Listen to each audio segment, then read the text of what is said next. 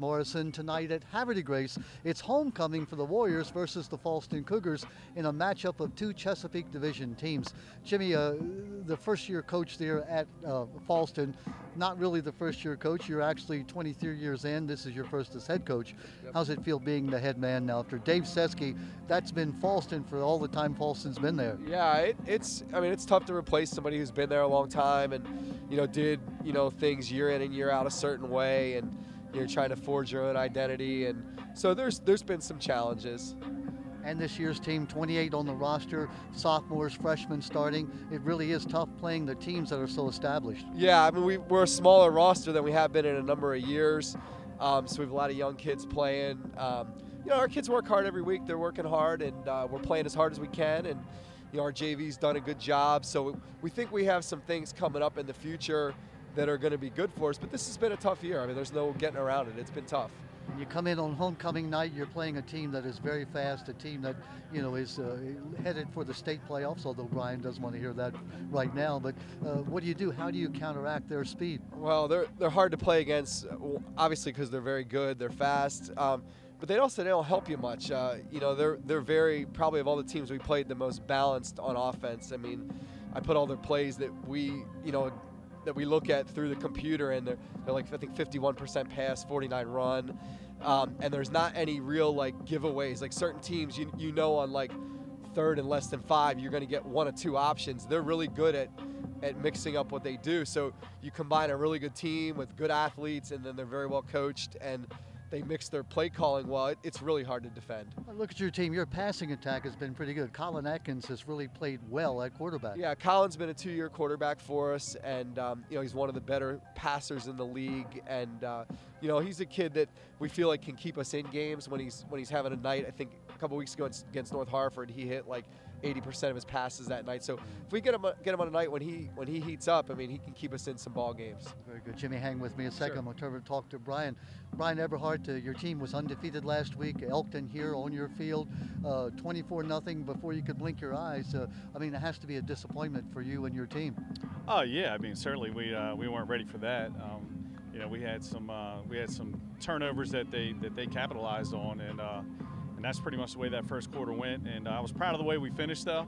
You know, you, you spot a team like Elkton, 24 points. I mean, they're really good, you know, and, and uh, you get them 24 points there in the first quarter and then uh, then we battle them the rest of the way. And I, I, was proud of the way we finished, but certainly not the way we wanted to start against a really good team like Elkton. We talked off air about homecoming, about picture day, about distractions. Certainly something a coach would rather not deal with, but it's a big night for the kids. It is, uh, and you know you have to keep that in mind as a coach. I think that is uh, it, it's a special moment for these guys, especially for the seniors. They only get one uh, at, at, high school homecoming, so we try to keep that in mind. And uh, our guys have been pretty focused though, coming off a loss like that. You know, we, we've had a very focused week. So. Well, look at Alex Greasock, this young man, not only a great athlete, but a great kid, a great scholar. He's the kind of guy that you'd like to keep him another year if you could, but uh, as a senior, he certainly is uh, everything you hope he would be. Oh, absolutely. I mean, we're, we're talking about a high caliber kid with, uh, with, with uh, very high GPA, uh, SATs out of this world. I mean, he's he's, he's going to go somewhere um, to an engineering school and play another four years of football, and uh, he's going to be an easy admission for, for, for a college. And then, Coach, we look at a team you're playing, Fallston, certainly the underdog. Homecoming night, you're looking ahead to C. Milton Edgewood. How do you keep your team looking at Fallston and saying, hey, this team would like nothing better than come in and pitch an upset against you? Well, we talk about being 1 0 every week. We're not looking ahead to C. Milton Wright. We're not looking ahead to Edgewood. We're, we're playing the game that's in front of us today. So we really stress uh, that's, that's one of the things that we stress week in and week out is 1 0. We need to be 1 0 this week, and then we'll, we'll concentrate on the games after that. But, um, you know, Fallston coming in, they, they have a really nice passing attack. They got some guys that can make plays, and as Coach alluded to, these guys heat up. It, can be problems for us. And three region titles in three years. I know you'd like to take that next step. I know that's looking down the road, but certainly that has to be a goal. Uh, yeah, it's always a goal coming in. You know, especially after the years that we've had. Um, you know, you, you, get close, and uh, and you want to be able to you want to be able to finish it. So it's a it's a goal that we start the season with. Mean, we're not afraid to talk about it. I mean, it's a it's a goal that we that we hope to achieve.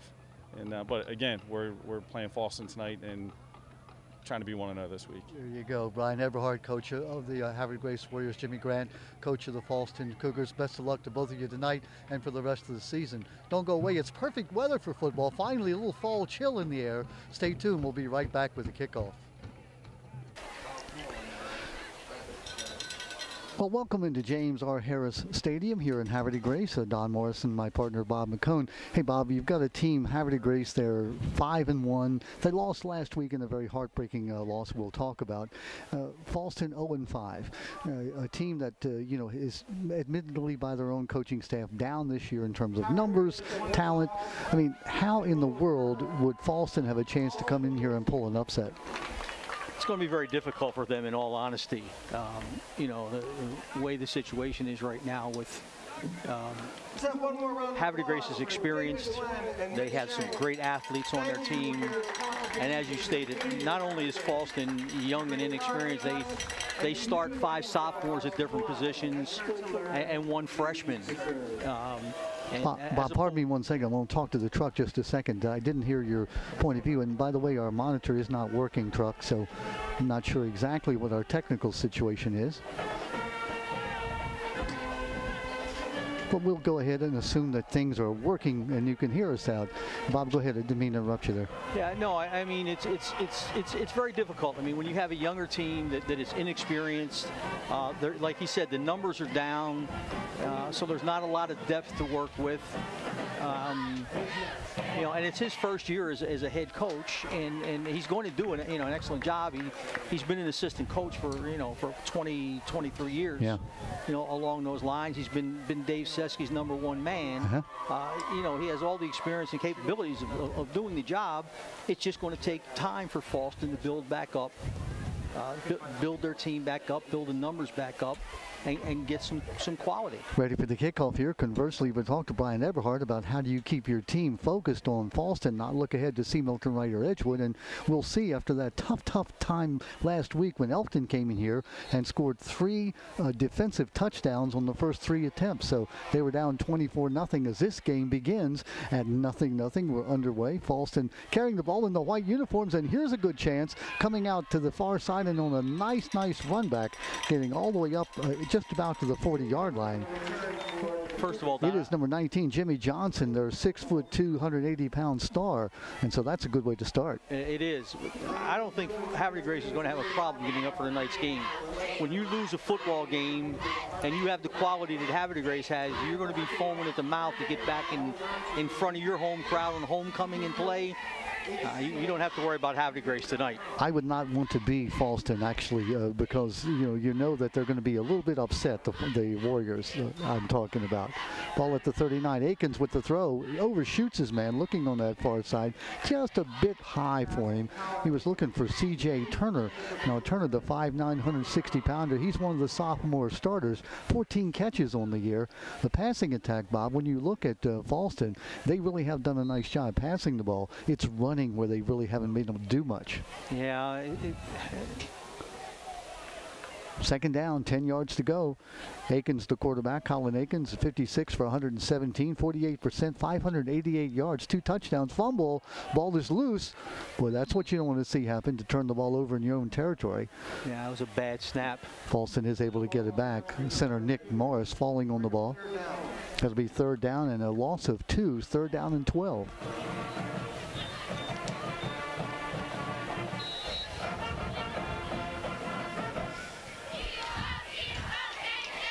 Havre Grace has always had a lot of speed, Don. So, you yeah. know, and they've always had great athletes. Yet they're one of the smallest schools in the county, and and they've you know they've done it consistently for years.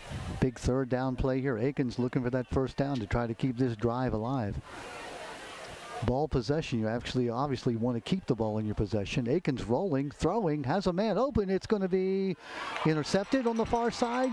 Just a bit underthrown and pulling down the interception is Havre de Grace's Jordan White. White now has seven interceptions, Bob, on the year. He had six coming in. Jaden Hyman had five. He's now got seven interceptions.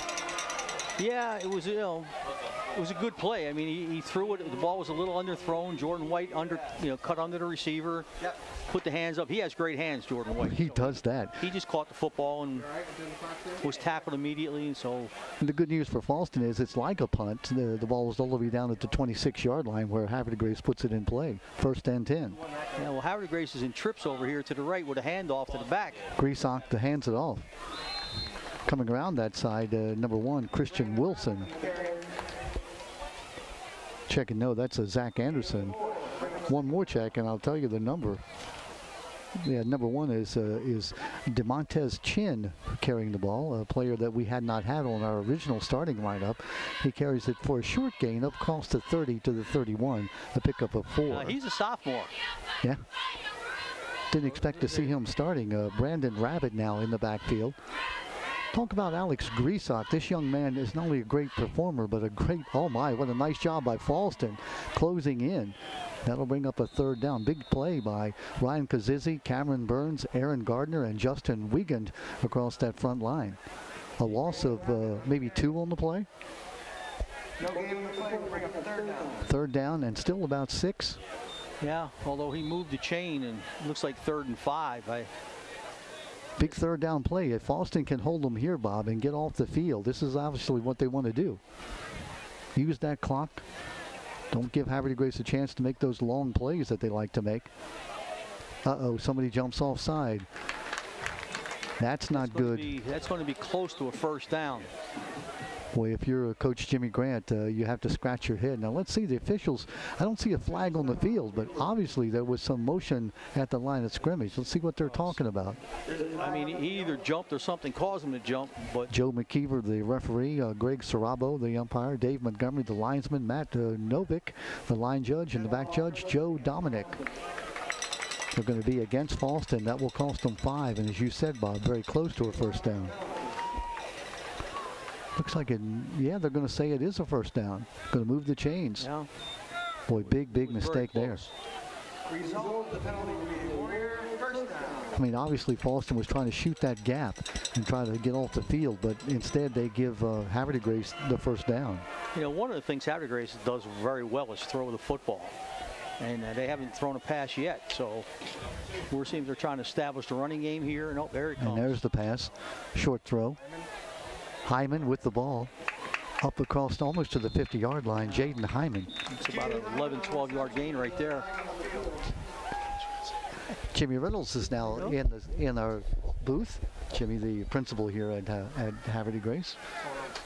Always good to see him. And Jimmy has a lot of football in his life. He does that. Hey, look, there's a big penalty coming up against de Grace. Played it, coached it. Jimmy was a classmate and a teammate of my son at uh, Perryville High School back in the day. Bring up first down on the ball. So the big penalty now backs it all the way back inside the 30-yard line to the 29. Well, that's a big break for Fallston. It is. Alex Greasock, Bob, you talked about him. He's 41 uh, for 242, running 5.9 yards, passing 57 for 107. Back to throw Greasock, looking down the middle, has his man. It's going to be complete. That's Hyman again. Hyman on the move. He's free down that left sideline. He could go. Look at the speed of Hyman. Pushed out of bounds finally at about the 10-yard line. You talk about Greasock, Don, and, and um, you know, UCBAC first team player last year. A lot of Division three schools and, and very academic Division three schools are looking at this young man.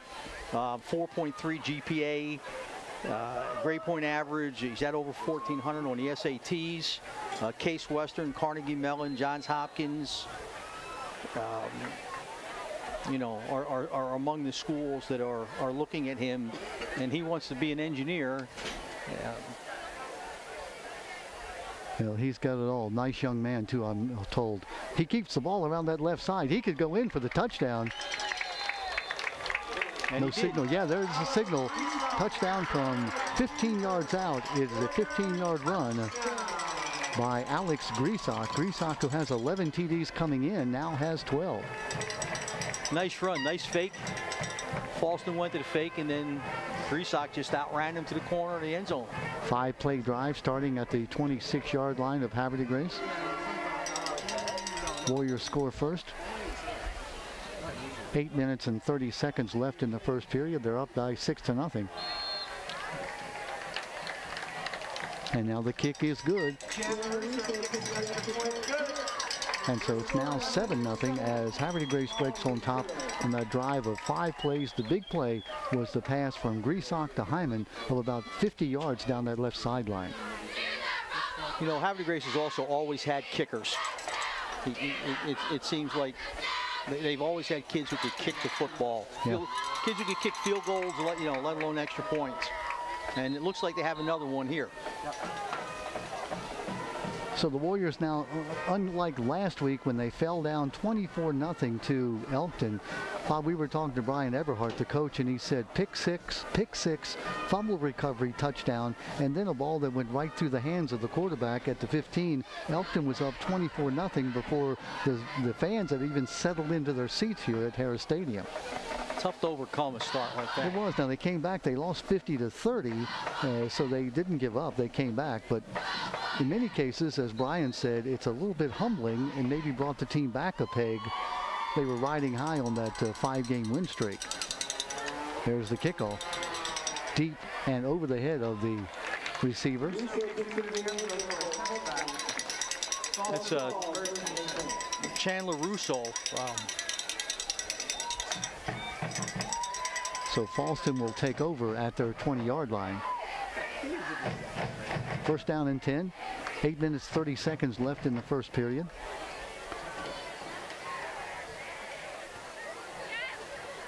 Bob, obviously, if you're the Cougars, what you want to do is keep the ball away from Havre de Grace. You want to have a drive. You want to eat up that clock. well, you'd like to be able to run the football and throw short passes and get first down after first down, like you said, as the clock is going down, you know, running down. But Their running attack this year has really been anemic. Uh, uh, an offensive line that's young and inexperienced. Aikens back to throw. He's going to be hit and down he goes. Big tackle coming in. It looked like it may have been Finner, number 52. No, it's Shivers. It's Shivers, Rob Shivers with the tackle. Yep. Shivers unblocked off that right side. uh, he just came all by himself and just met the quarterback. A quarterback's nightmare. They call it blindside. They think they made a movie about that, Bob, if I recall. Yeah, I lived that once or twice playing that position. Yeah, you don't see them, and all of a sudden you feel them. You hear that thundering hooves coming towards you, and you just sort of want to duck. Big loss of about six, bring up a second down and a long 15. Colin Akins, two touchdown passes on the year. There's a flag right there. Looks like in motion. I, I think, yeah, the Warriors, uh, that's going to cost them five, the five they picked up on the uh, sack. It, uh, I'm not sure. It looked like it was uh, Kershaw Torres, number 42, jump, but hard to see from over here. Yeah. Five yard penalty will move it back up to the 20 yard line. And so the five they lost on the sack, they get it back. It is second down and 10. Well, they've really done a nice job with this stadium here. Um, you know, remember the old stadium Oh, over on the other side that used to flood all the time, and Uh-huh. uh, but thi- this stadium really nice looking stadium. Talking to athletic director Heather Crawford before the game, and we were going over some of the improvements, just uh, space by space made. That's a nice run by Fallston. Looks like that may be a Clavin, Brandon Clavin. Going to pick up about five, make it third down and five.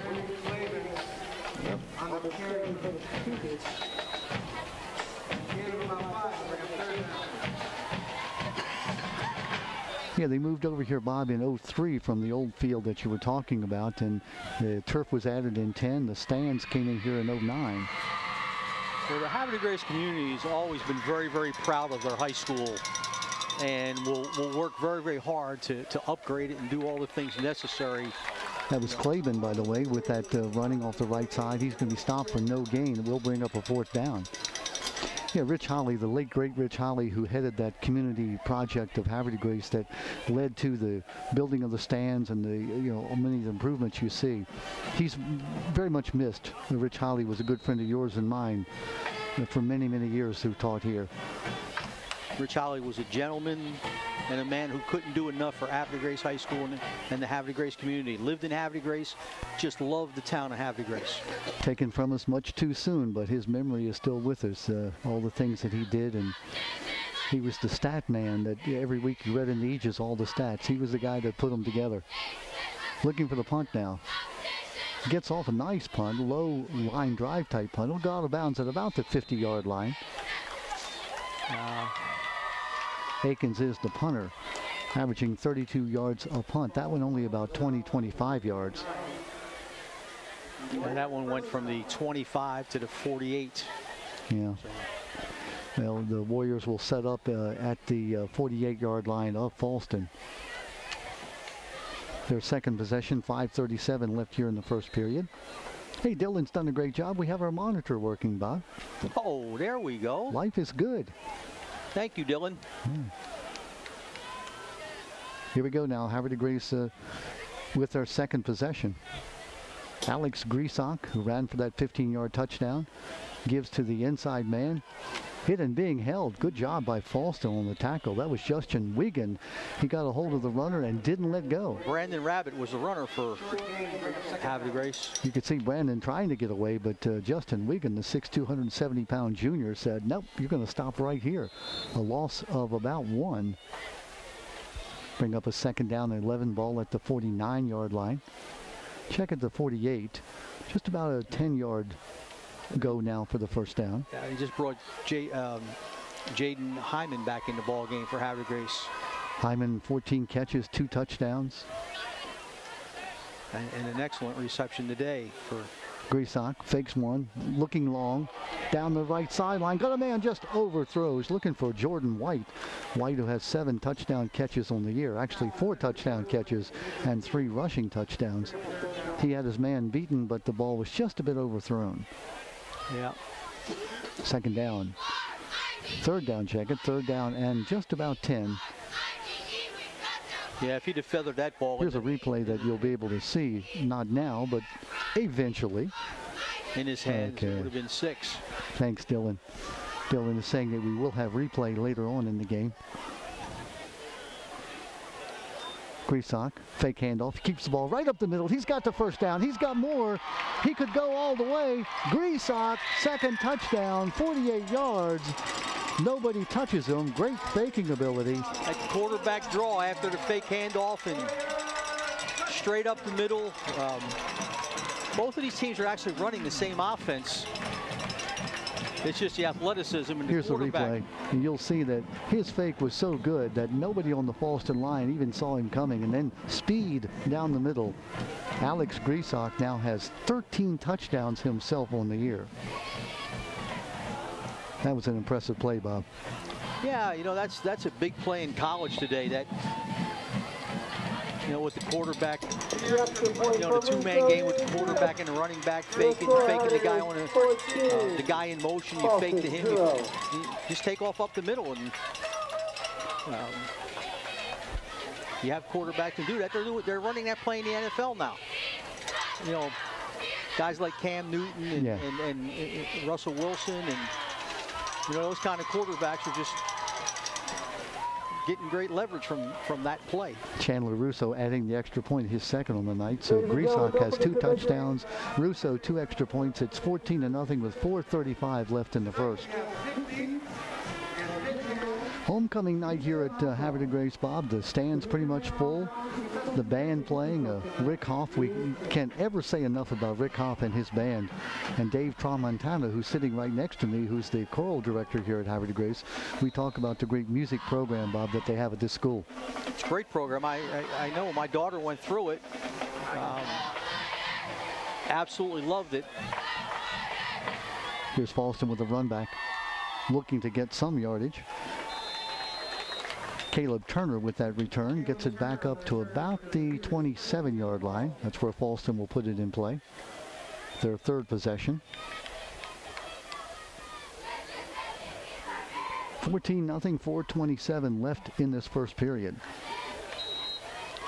Havre Grace five and one. Bob, they've won three straight region titles. Last year, losing to Dunbar in the uh, state semifinals, and Dunbar went on to win the state title. Obviously, that's the goal that Brian Everhart and his team has. That long-term goal. Akins with the throw has his man. It's complete on the far side, up past the 30-yard line. That's a nice catch and nice nice turn and run. Looked like Jimmy Johnson on the catch. Johnson with 20 catches coming in. Jimmy lacrosse player in the spring, 6'2", 180 pound senior. You know, de Grace is a 1A school. That's the smallest of the schools in, in the state of Maryland. Yet the football that is played in 1A at the state level is is incredible. The, the 1A teams in, the- in the state play very, very good football, and Dunbar is a prime example. Akins with the throw, has a man down the middle, incomplete. Oh, and the flag goes down. Dominic, Joe Dominic, the back judge, says that is pass interference. That will cost a penalty of 10 yards against the uh, de Grace Warriors. There was definitely contact, Bob. I'm not sure he could he could have caught the ball, but he definitely was impeded trying to get his route completed. Yeah, there, there was some obstruction there, that's for sure. Um, Going to cost him 15. The question is, did the obstruction happen after the pass went by both the receivers and the backs, or did it happen prior to that and prevent the, the and as Joe Dominic saw it, it happened prior, and so he threw the flag. His opinion is the one that counts, Only one. They're paying him tonight. and he's earning his keep. He's earning it. First down. The ball near the midfield stripe. In motion, Fallston. Turn, give, inside. Well, the Cougars right would away. love to start uh, establish a running game. Uh, Brian uh, Brandon Claiborne has averaged only 1.4 yards per carry. Not necessarily because Claiborne's not running well, but the line is so young, Bob. Freshman starter, a sophomore starter on the left side. Now, Nikel Glover on the on the stop there, he just blew that up and met the ball carrier head to head. big senior. Bob, you look at this team uh, Havre Grace has. They're a senior-laden team. Uh, this is the year that you're preparing for. I mean, three of the four starters on the defensive line are seniors. The other's a junior. You know, of the three linebackers, two of them are seniors and one's a junior. So- Akins uh, looked like that ball may have slipped out of his hand a bit. It throws it a bit low. It'll bring up a third down, third down and 10. Well, Don, there are eight seniors starting on defense and three juniors. So that's as experienced as you can possibly get, almost, you know, except for three people. You look at uh, you know the year that you aim for. Griesach being a senior at quarterback, uh, you know he is just so talented. Uh, this would be the year if you were de Grace to say, you know, this is the year we should go all the way or have a good chance to go all the way. Now I've just jinxed them. No, I mean they've had that. They've had that for the last three years. I Yeah. mean, their offensive line starts four seniors and, and a sophomore center. Aiken overthrows his man. Looked like he uh, pulled the trigger just a bit quickly. Now, Bob, I'll put you in the shoes of Jimmy Grant, the head coach. Uh, you've got the ball at midfield, fourth down and 10. You're you going to punt or are you going to go for it? I'll leave that up to Jimmy. That's a, you know, that's a call I'm glad I, ne- I never have to make. And the truth of the matter is, you're probably better off punting the football. Uh, Yeah, You know, yeah. territory becomes becomes important in, in, in a game like this. You, you don't want to make it. You don't want to make it easy for Havre de Grace to get field position and score on you. Let's see how the punt turns out now. The whistle blows. Let's see what the officials say. Looks like a timeout on the field. Timeout de Grace. They weren't quite set up to make that return. Hope you're enjoying this game, Bob. What good weather we're having. This is football weather. Finally, the fall has come. The humidity is gone. It's nice, uh, like crisp, clear night here at uh, de Grace for homecoming. And It's a beautiful evening for it. You know, we haven't had one of these. I I can't tell you since when. Uh, Maybe last fall. maybe. And looking around the stands, pretty much packed with uh, Warrior supporters. Homecoming night. Uh, we started this morning. I came over to watch their induction ceremony for the Hall of Fame. Four alumni being inducted into the de Grace Hall of Fame this morning. That was exciting. Uh, their homecoming parade coming down Congress Avenue from Hutchins Park, right down past the high school. Just uh, there's nothing like homecoming night in high school. As, as they always say here, this is the best kept high school in Harford County. I, I- mean, it's best kept secret in Harford County, this high school. Here's the punt. They do a fantastic job here, academically, socially. Low line drive punt picked up on the run. Six. on the move. He could go all the way down that right-hand sideline. That's Jordan White. White untouched down the right sideline. Bob, we said it last week when Edgewood played North Harford. Speed kills. You just can't coach against speed. I mean, that was just easily set up. He picked the football up, cut to the right in the gap, and then turned the corner, and there Here's the wasn't anybody replay. You'll watch how he just has a lane down that right sideline. Yeah, that's White. Right there, pick it up, hit the hit that lane right there, And there left, he goes. and Look at the speed. Untouched, Jordan White goes 75 yards for the touchdown. 3.04 left in the first period. Now 20 nothing. With Chandler Russo on to attempt the uh, point would make it 21 nothing. So last week against Elkton, Havre Grace was down 24-0 in the first period. Now if they convert this point, they're up 21-0. what a difference a week makes, huh? Surely does. Elkton's not a bad team. They're not in Havre Grace's caliber in terms of, you know, overall talent. But uh, like Brian Eberhardt said, it was just like a nightmare. Pick six, pick six. You only get to play once during the year, and Yeah. that's whatever happens at the end of that game, whatever the score is, that's who wins. And you know, you don't get a, a, a do-over. And I think Elkton is 2A, I believe, so they wouldn't play in the playoffs. No. Russo does it get hits? Oh, No it good. Bounce hits back. the crossbar and uh, bounces back and no good. Uh, I don't know if somebody got a piece of that. That uh, that wasn't one of his very good kicks. So I, I don't know if he kicked it well and it got tipped, kicked it a little low, or Yeah, it looked like the timing was a bit off. Uh, he didn't get a full kick at it, or somebody may have touched it. So, in any event, the score remains at 20 to nothing.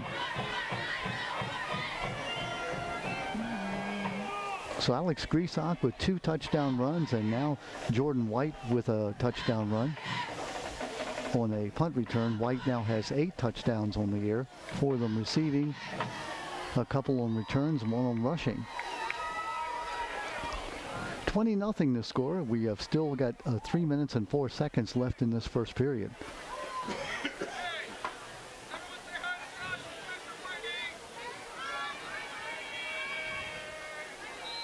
you keep throwing the ball, the clock doesn't move. That's a good point. Yet they don't have the running attack Fallston we're talking about to take time off the clock. No, when you're down 21 nothing, you want to try to get it back, and obviously, passing the ball downfield is is one way, but Jimmy Johnson with the return up to about the 27 yard line. That's where Fallston will put the ball in play. Seth Strang, uh, David Bogosh, Nick uh, Morris, I, uh, Ian Keller, Aaron Gardner across that line. By the way, Aaron Gardner is an Eagle Scout. Ian Keller, one of the seniors on the line, 5'11", 250. He is a captain. Bob, that's one of the toughest things when you're with a rebuilding team and you're a senior. Yeah, they're rebuilding for future years, but you know this is your year. This is the last year you have. I don't know what to say about that because it's the truth. I Yeah, mean, you it's a tough thing. It is. Shivers tracks him down again. Boy, that young man, Rob Shivers, he's a big guy. he can run. Where's number 55? There's some guy with the Ravens, I think. Uh, T. Sizzle, I believe he calls himself, who has that number. And Well, they're going to have to give this this left tackle help. I mean, he's he's trying to he's trying to block Shivers one on one, and Shivers is winning that battle consistently. So you, you might have to get a tight end over there or something to chip him and give him a little ride here or there to help help his tackle out. loss of three, second down and 13. Now they're back. Pass complete. Short gain. Passes to Nick Curry. Curry picks up about four or five yards on the play.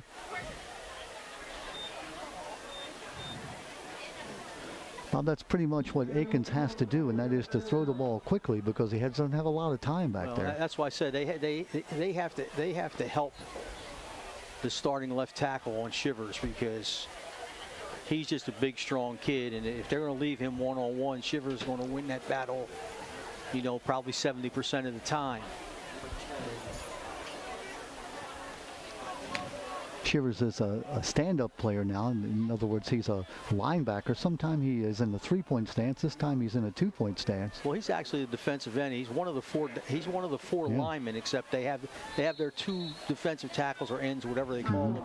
They both stand up. Stand up, yeah. They only put two guys down. And Bob, that's because they, let's see, are they they calling a timeout? Or are they sending the players off the field momentarily? That's because they don't respect the running attack of Fallston. So they realize that uh, the only way Fallston can beat them or gain yardage is just to throw the ball. Yeah, just pin your ears back and get after the quarterback. Minute 14 left here in this first period. Alex Grisock with a touchdown run of 15 yards at 8:30. Grisock again a 48-yard run on a quarterback draw play.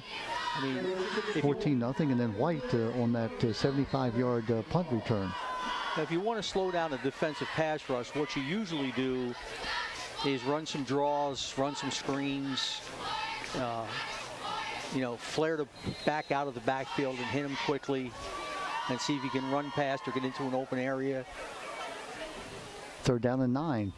Akins rolling, throwing on the run, has his man complete. That's C.J. Turner. Close to the first down. I think it might be enough for the first down. Let's see. It's out to about the 38. Yeah, that's a first down for sure. Good first down. That's a nice run. Running the ball to his right-hand side, the strong side where he throws. He found Turner, hit him with a good pass. Turner, just a sophomore, now has 15, 16 catches on the year. That was a nice little out route and ro- rolled the quarterback to the right and made a nice throw, hit him on the run. Aikens, a second-year starter at quarterback. Unfortunately for Fallston, he is a senior, so he won't be around next year as his team hopefully rebuilds. Clavin with the ball. He's going to be hit right in the middle of the line. Very little gain there. Michael Glover and Keyshawn Torres in the middle of that line. What the what the down four for Havre de Grace is doing basically is they run into the offensive lineman and they hold them to see if, if it's not a pass, then they just hold the offensive line up and then when a kid the running back comes to them they just get off and make the tackle and if it's a pass then they take off and go after the quarterback. So they're they're obviously dominating the line of scrimmage right now. 30 seconds left in the first period. No gain on the play. Second down and 10. A pistol formation. Akins with the ball. Big rush. Shivers has his man. That's complete. Pass to Nick Curry. Curry has the first down. Nice catch. Nice run. Good completion by Fallston. It was. It was a nice play by Fallston. What they did was they sent two people heading in the same direction, one five yards behind the other. And so Grace players backed up for the deeper guy, and then the underneath man cut across, turned and, and, and ran a post pattern, inside post pattern, and just was, was open. And nice throw, caught the football, and, you know, enough of a gain for the first down. And that is the end of the first period. Boy, you give that line some credit too, Bob. He didn't have to hold them long, but they're holding them long enough for the uh, receivers to get that short pass pattern done. Yeah, and it, it, it, it, didn't look like on that play that Havre Grace defensively brought anybody except they're down four. And they and the Fallston players blocked it that time and, and gave him a chance to make that throw.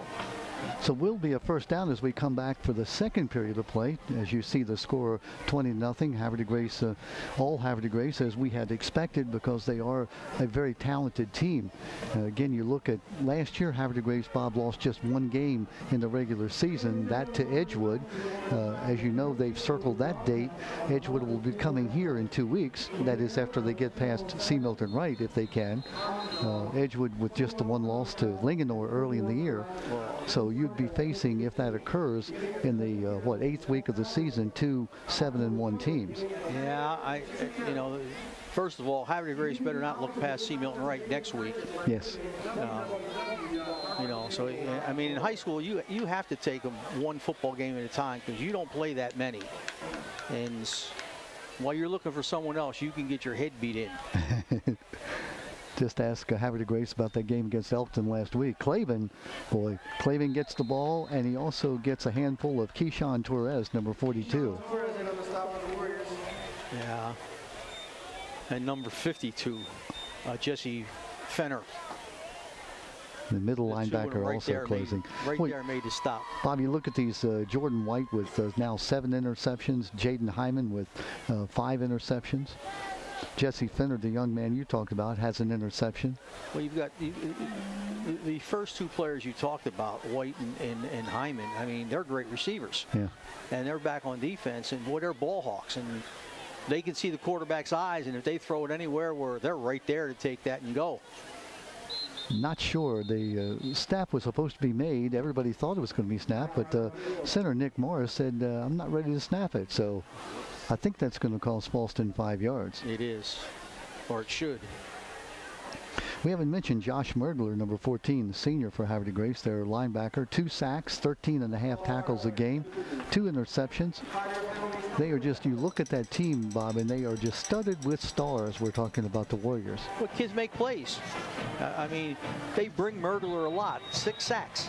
I mean, here, here's here's a, a right side outside linebacker, and you can see he comes off of the same side that Shivers comes off of. So who are you going to block, or who are you going to double if you you know if you have to block somebody? You got to block Shivers, and so Megler can, you know, he can, he can come in sometimes untouched. Also five on that pass. Has his man. It's going to be complete. Tackled right at the 50-yard line.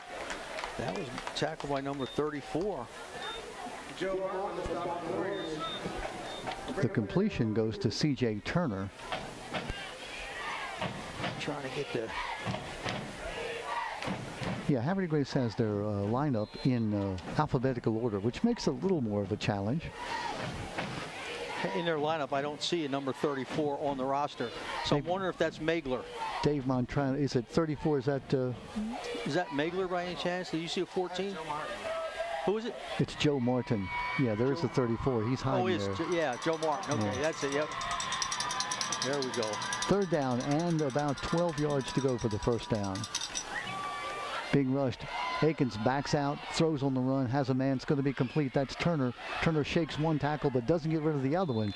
Ball at about the 41, about five yards short of the first down.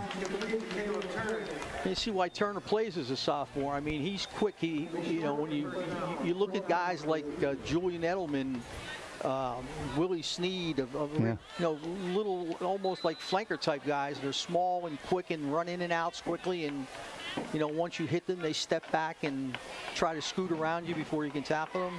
And he has good hands. 5'9", 160 pounds. Again, just a sophomore. He's a budding star for this team. They're going to go for it, Bob. Fourth down and five. Big decision here. Ball at the 42-yard line of Havre de Grace. Got to get inside about the 37. Looking, has a man caught, caught and dropped.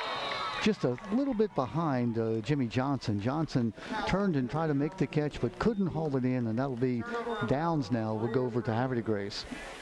Yeah, that was that was a, a, a tough play. I mean, he he was open, and like you said, the throw was just behind him, and he just couldn't get both hands together to catch the football. You can tell how disappointed he is. He did turn, he did get his hands on the ball. Very difficult when you're going in one direction, expecting to be hit at any moment to be able to pull that ball in. Well, the ball was behind him at his hip level, and sometimes that can be difficult. 42 yard line, Havre de Grace will take over. First and 10, 9.16 left in the half. Grisock throws, has a man, that's White. White makes the catch at the 45 yard line. You know, one of one of the things I that uh, I, I want to give the Fallston coaching staff credit for, you know, uh, you know, their, their kids are 0 and 5 at this point, but they're out they're out here playing as hard as they can and giving everything they have out here tonight. I mean, they're they're, they're trying to make plays, they're getting after it. They don't have their heads down. They're playing football and. Um, give their coaching staff a lot of credit for that. Absolutely, and their players as well. Easy to say this team is just too good, too fast. They're not uh, giving any. There's that quarterback uh, draw. This time it doesn't work. Good job by Fallston staying at home. Yeah. Looks like big number 50, 59, it looked like. 59. Yeah, it is 59. And that would be Nick O'Neill. Stayed at home that time and made the tackle for uh, no gain on the play. Second down and 10. That was the play that Grisock scored on in the first period.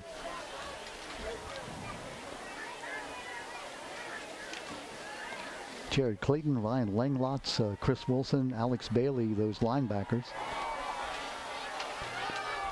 Griesbach, second and 10, back to throw. Throws it long. His arm is hit as he throws.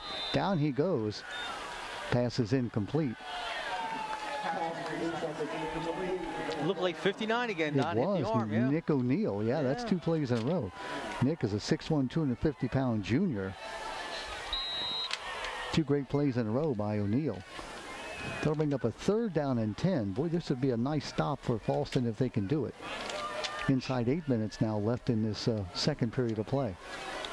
Sure would be. I mean, they went for it on fourth down, and you, you worry about Havre de Grace just making a drive and putting more points on the board, but Griesbach hands it off. Hit and held in the backfield.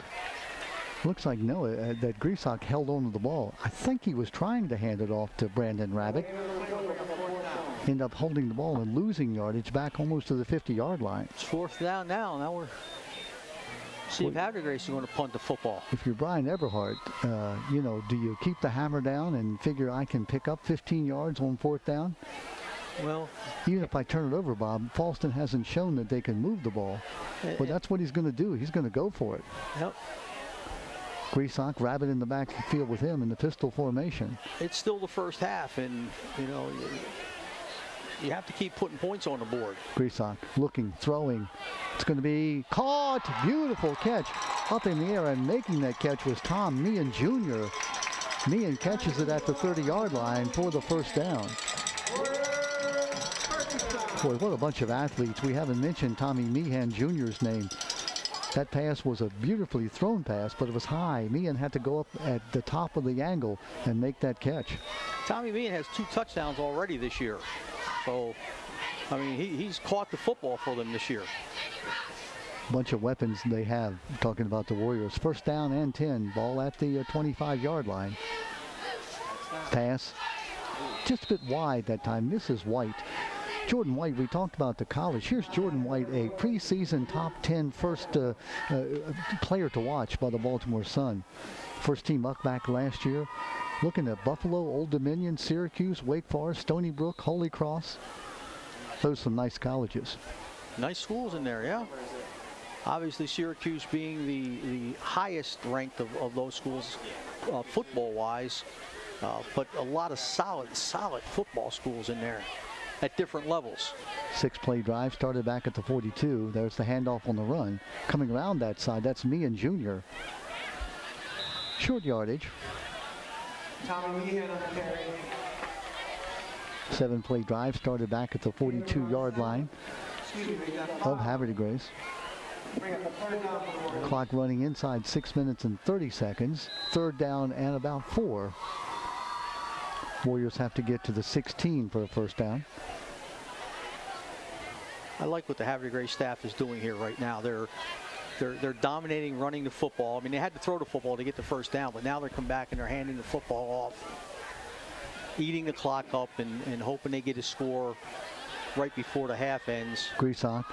That's White. White jukes one man, going to be hit and taken down at the 16 yard line, close to the first down. Uh, that is a first down.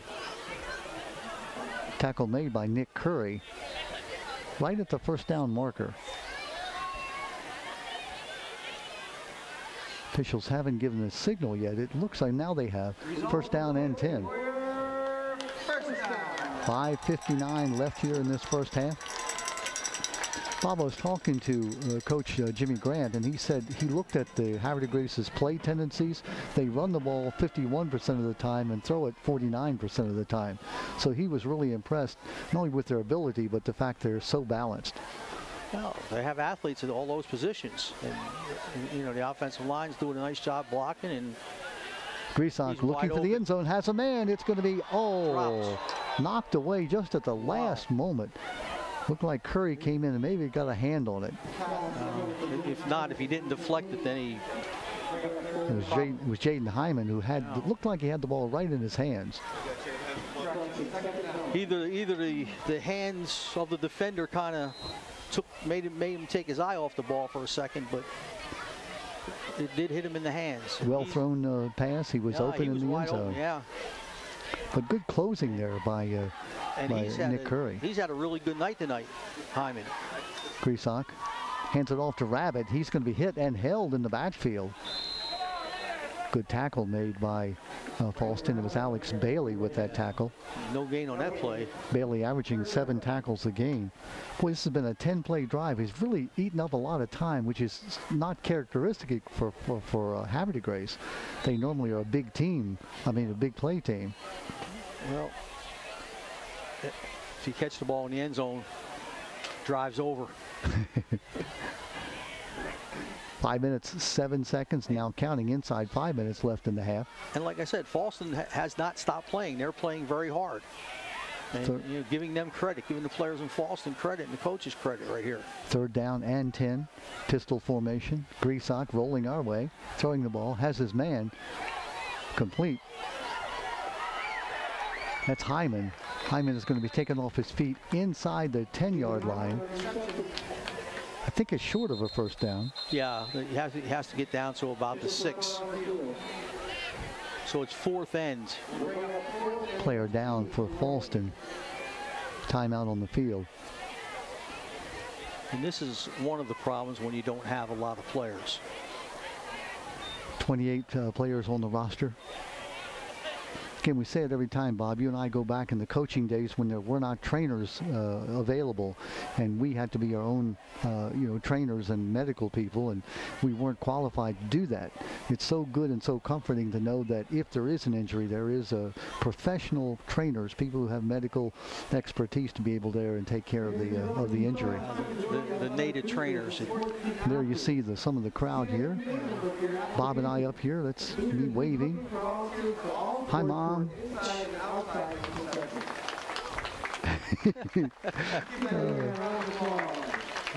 up on his uh, feet and being helped off the field.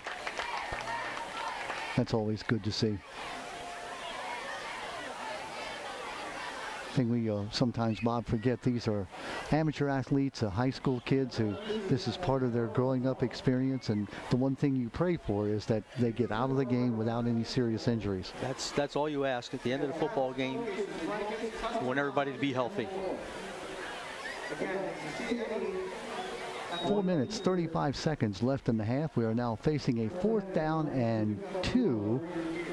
Looks like the Warriors are going to go for it. They're not going to bring in their field goal kicker. They're looking for that first down. Griesach hands it to Rabbit up the middle. I think he's got it. He does. He's down to the five. You need to get to the six. Boy, nice quick hitter there. First and goal at the five-yard line. 12-play drive.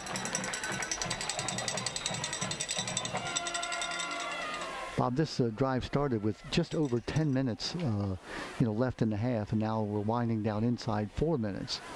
That's a nice six-minute drive, and still have time to run off another minute if they want, White pass, Griesach, touchdown. or if they don't, they just want to score.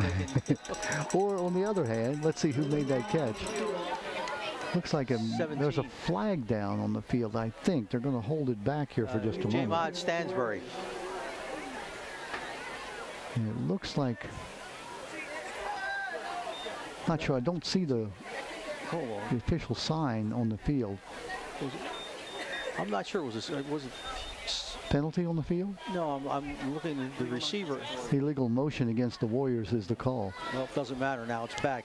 So wipe that uh, touchdown play off. And now, Bob, it brings up a more interesting situation where, with uh, Second and ten now for second and goal. yeah second and goal, the ball back at the 10. yeah. So wipe out that touchdown. 20 nothing. The score remains. In motion, White. Give to White around that right corner. Jukes one man jumps a tackler, going to be hit and taken out of bounds. Nice tackle. It Really was just about when it looked like White was going to dive across. Another flag down.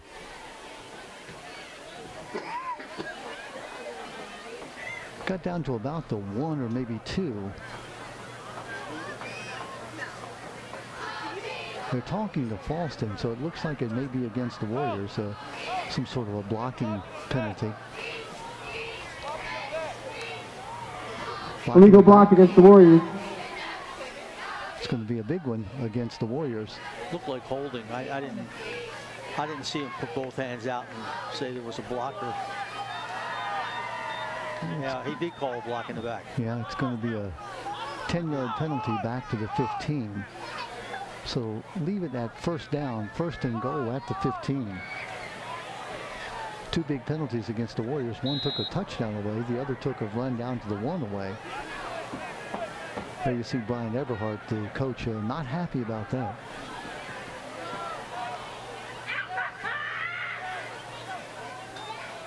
Grisak being rushed, avoids a tackler, and now he's going to be hit and held. Chris Wilson, the second man through, making the tackle. Chris is very happy about Alex that. Crease off the ball carrier. Off on the play. Nice Bring up play. second down. Bring up second down at the uh, 21, second and goal from the 21. Bob, you mentioned it. Fallston, give them the credit. They're down 20 nothing, and you know overwhelmed in terms of size and strength and speed. Well, they, they obviously feel like they're still in this football game, Yeah. and uh, you know they have belief in themselves. And e- even though they're 0-5, um, you know, like I said, obviously the coaching staff is, is, is having a tremendous effect on this team, and, the- and the kids are obviously good kids and, and working as hard as they can. Grisak looking, has a man, overthrows his man.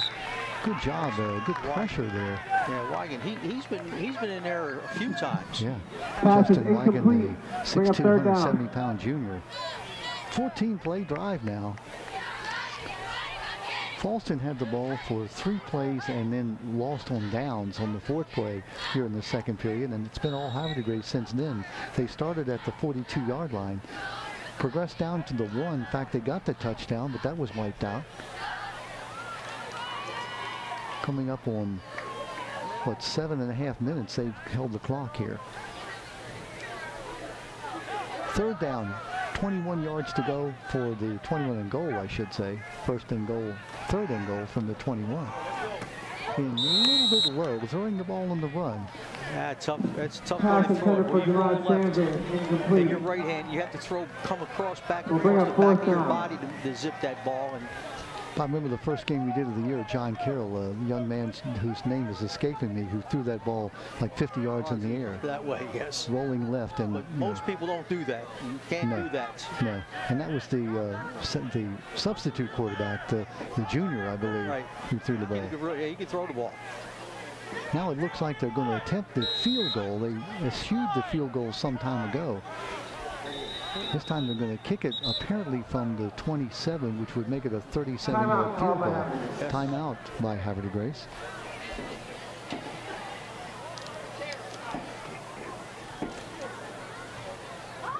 Now here's a question for you. Will they attempt to block his field goals and knock it down and try to keep Remember to stay tuned for our half half. But if they don't do that and they rough the kicker, then they're back in the. you know, that's a call that, that Coach Grant has to make. Chandler Russo, the, the kicker who's made two extra points. The, the third extra point was either blocked or the timing was off. He missed the third one. You always remember you, you have to have a good snap, a good catch and holds, and a good kick. And good, and good blocking. and blocking go with all that. Absolutely. And A lot of things can go wrong. Homecoming court Number members, 16, please report Chandler to the Russell, the junior kicker. Homecoming court members, please report to the ticket. Thank you. now he's moved it back to the 33 or 28. So it will be a 38-yard attempt. Yes. He wants that extra yard, I guess. Grisak is the uh, holder, so he does put it down. The kick is up. Oh, it looks good. Very good. Very nice. That Distance. kick could have been good from 40 yards. Yeah, And it is excellent. good. Yep. A 38-yard field goal by Chandler Russo. Like I told you earlier, Don, Havre Grace has always had kids who could kick the football. And this is another one. Bob, that was a perfect snap, a perfect hold, and uh, great blocking. And the kick was, again, he could have been good from 45 yards out. Yeah, my theory was when I was playing quarterback in high school was I want the second string quarterback to hold for those extra points. because that's where the trouble is. Somebody's going to come in and It's a lot of pressure to catch that Oh, football and I put see. it down. You know, it's it's Tony it's tough. Tony Romo would agree with that It's back in the, the telling you. playoff game that he fumbled the snap and cost the uh, Cowboys a chance to win that playoff game. You look now at in the NFL, almost every holder is the punter. Yeah. Koch for the uh, Ravens, who's uh, just one of the very best. Uh, and Justin Tucker is not a bad kicker. That's my understatement of the year. 23 nothing as you see the score. Two minutes and 41 seconds left in the half. Fallston looking to, that's, that's a nice little alley there. Good run by Jimmy Johnson, still on his feet up to the 40-yard line. Jimmy Johnson's a tough kid who plays really hard. Jimmy's got some size. He's 6'2", 180-pound senior. He plays that sport that uh, Frank Mazzanotti claims is the best sport in the world, lacrosse. I'm Frank- sure Frank would say that. Frank, who is the one of the new Hall of Fame members at Edgewood High School. Our good buddy and our former partner who now is in South Carolina playing footsie with Dabo Swinney. Maybe it's not footsie he's playing, but at least he's a pal of Dabo Swinney. Frank was, um, he did a tremendous job creating a lacrosse program at Edgewood High School for Yep. 12 years. Three state champions in 12 years. Uh, and in a place that didn't have a program before that and has struggled in that sport since then. And, and what really impressed me was his old players were there uh, for the induction, and they just adore him. Here's a handoff inside for Fallston. I mean, you know, a coach likes nothing better than to have someone come up and say something nice. Talking to Paul Metzger today, our partner, a former um, work experience student of his, came up to him the other day and said how much uh, that he had meant to this person, this this young lady, in terms of developing that person. You know, going back 30 years. Nothing warms the cockles of a former teacher's heart than to have someone come up and say that. Nothing. That's what it's all about. Second down and nine. Colin Aikens going all the way at quarterback. Back to throw, looking, has a man up the middle, has his man. That's Montgomery. He's free. Down the middle of the field. That's not Montgomery, but instead it is a touchdown. And that is uh, Alex Bailey, number 12, who makes the catch. Avoids a tackle and goes in for the touchdown. That is a 40, a 60-yard touchdown play from Colin Aikens to uh, Alex Bailey. Wow. And that's why you keep playing like they do. Here's the replay. You'll see he avoids that one tackle, Yeah. and then it's all Mr. Bailey down the center of the field. Aikens to Bailey. Touchdown, Fallston, 23-6. Then to attempt the extra point for Fallston.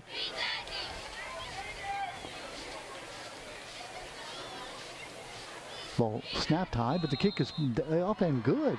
Boy, that was a great play by the holder. He jumped up, and grabbed that ball, and put it down, and And Connor Pickle kicked it through, so Pickle has the extra point. Make it 23 to 7. Wow. now that's their reward for continuing to play hard and having belief. It was a great pass play. First of all, hit him uh, on the run, and then uh, shaking the tackle. Bailey goes in for the touchdown. Alex Bailey, who has a 4.55 GPA, plays baseball, had 13 catches coming in. Now he's got his first touchdown of the year on a brilliant play. So just like that, Fallston says, hey, we ain't done. Well, maybe they didn't say we ain't done. No, That wouldn't be proper. no, uh, they have an excellent English department at Fallston They do, yes, they And do. So they're not going to say that. They might, just for emphasis. Oh, Yeah, for a colloquialism, just to that, whatever that word is, means that you just used. I told you, keep your vocabulary in things that I can understand. What was that? uh, Colloquialism? Wow. well, if it'll help, I can't spell it. How about that, Tom? Would that, would that help you? Uh,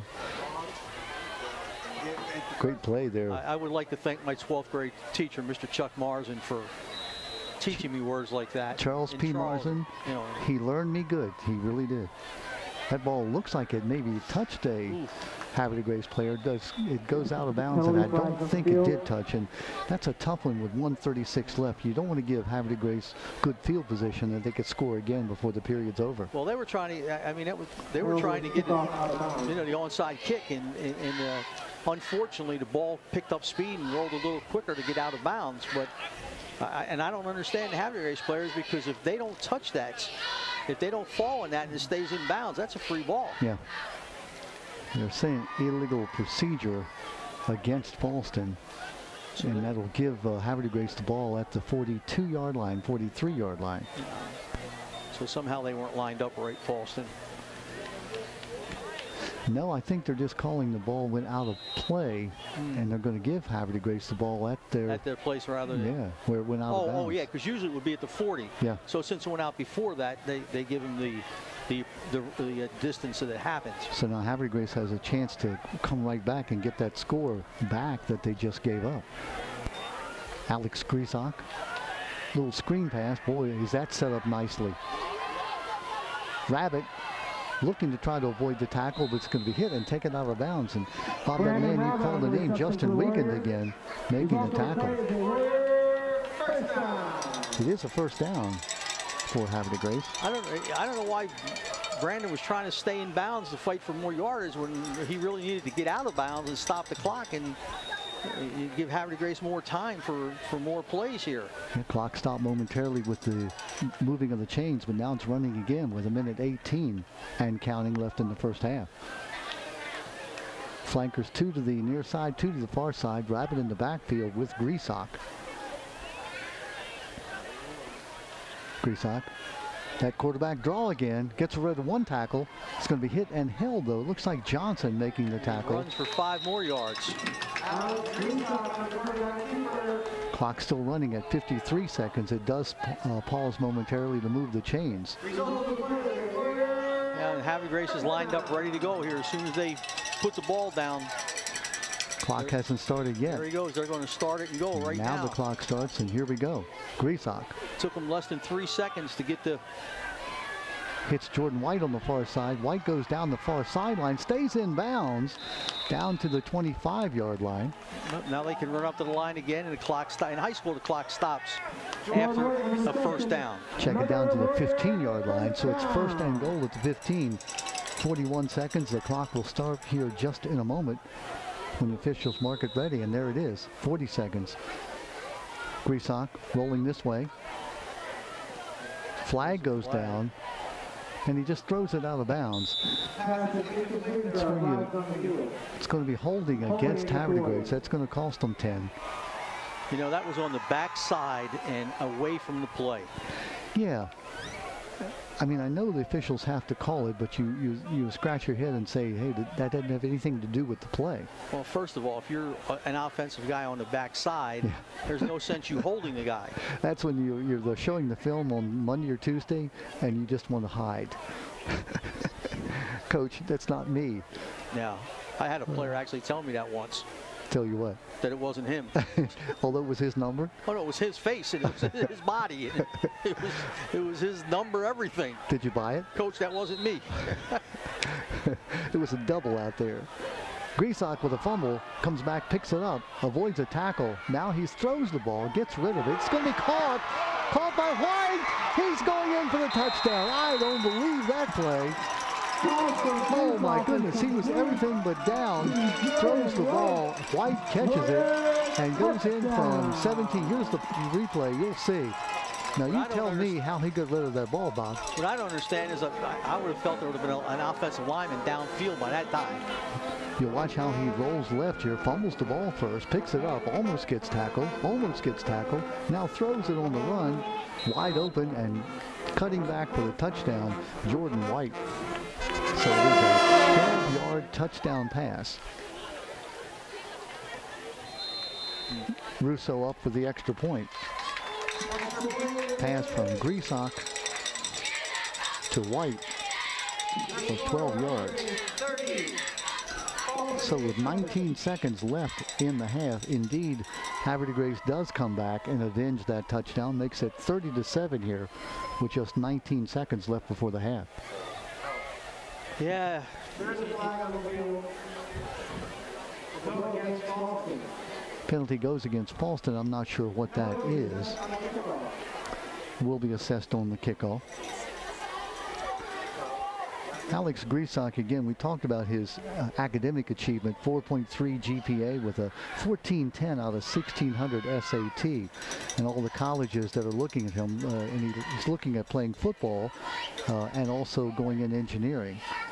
So you know he has the, you know, the smarts to be able to pull that play off. But the awareness he had, Bob, to keep his head up when he had tacklers all around him. Yeah. And give Jordan White credit. He realized his you know, quarterback was in some problems, so he came back to the ball. And then it was all athletic ability as he caught the ball. Instead of going out of bounds, he cut it back in and made the touchdown run. The, the schools that Griesbach are looking at are, are outstanding academic schools, engineering schools. Uh, he could choose any one of those and not be wrong um, from, a, from an academic standpoint. From a So- football standpoint, he has to do some research into them, find out how many quarterbacks that they have back if that's what he wants to play. Uh, you know, Mhm. at, at what point will he get a shot to get on the field or, or will they expect him to, to get on the field? uh, kind of thing. So, or are they looking at him as a defensive back or a wide receiver? What, you know, each of those schools will have, and I know each of them have a football program where they have 70 to 80 players on on the Yeah. on the team. You know, so Yeah. it's, it's especially the quarterback position, it's it's difficult. Two touchdowns rushing tonight, and Griesbach now has a touchdown passing. Also a 75-yard touchdown run on a punt return by Jordan White.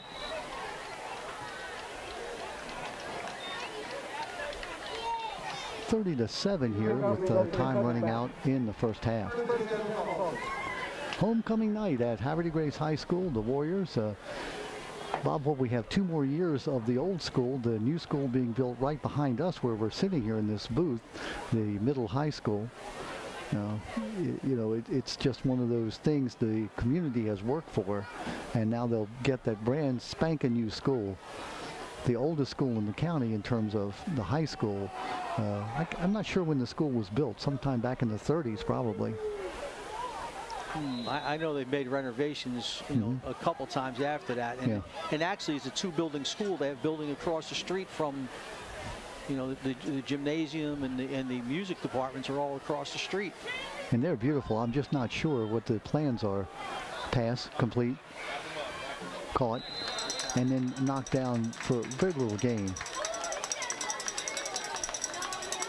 I think that was uh, Jimmy Johnson again with the catch. Clock running down, three seconds, two seconds, and that looks like it will be the last play of the first half.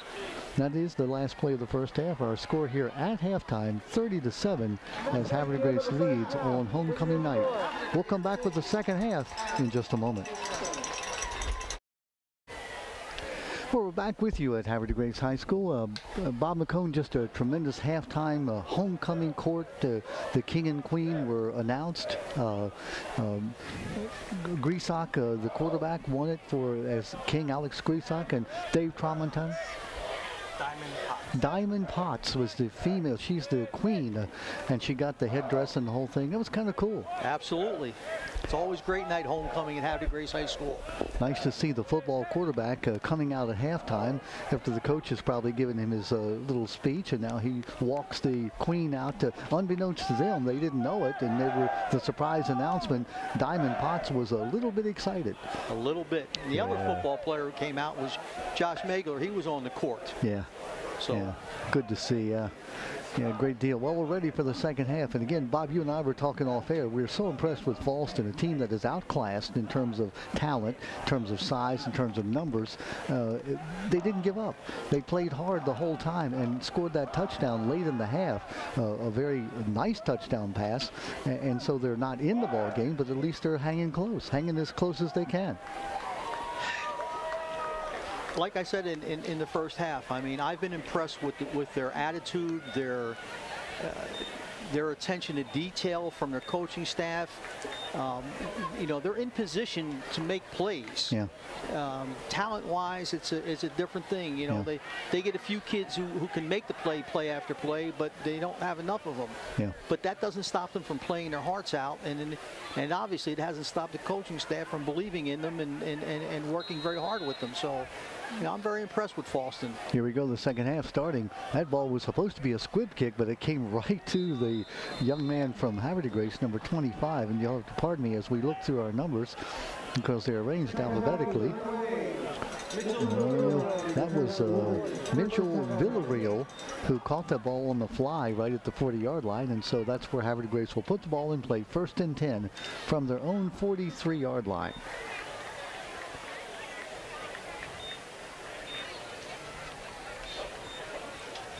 Alex Griesach going all the way at quarterback. Uh, two touchdowns running, one touchdown passing. Jordan White, uh, two touchdowns, uh, one on a, on a 75-yard uh, punt return, the other on a pass late in the half. Griesach, There's the whistles blow and uh, play is stopped. Now Fallston's taking a little different approach here, Don. They, they just put pretty much uh, six guys up on the line of scrimmage, and they brought them all. Trying to get to uh, Alex Griesach. Now, the problem with that is this uh, Warrior D, this Warrior offense is so diversified. You can stop one thing, but then they hit you with another. Well, obviously, Coach Grant feels what they did in the first half wasn't, you know, specifically successful, so he's trying something else here. Griesach and the pistol. And there they come. There's the fumble, but somehow, and the referee blows it dead because I think the quarterback's knee was down when he had the ball. And so Havre de Grace going backwards uh, here early in the second half. Fallston has come out here fired up defensively, and they're- getting after Havre de Grace, and it's, you know, they, they drew a penalty on the first play, and, and, and now they get a, I guess they would have to call that a sack on the second play. Yeah, second down and about 17. Warriors have to get up past the midfield stripe to the 47-yard line of Fallston for the first down. Now Fallston's in a, in a They're coming again. Here comes Griesach on that quarterback draw. Breaks through the first line of tacklers, but doesn't get through the second, taken down at the 35. gains two yards. Looks like Chris Wilson in on the tackle.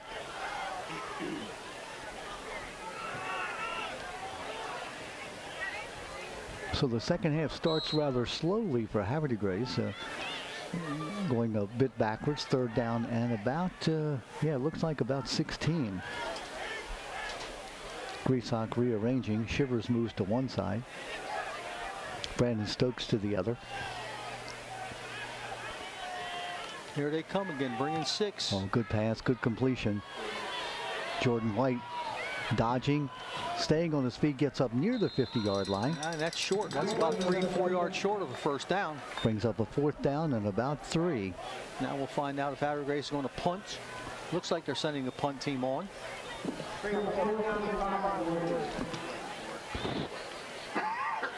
Got to get, uh, they're just about at their own 49. They've got to get to the 47, so Coach Brian Eberhardt uh, elects to punt the ball away, at least apparently so.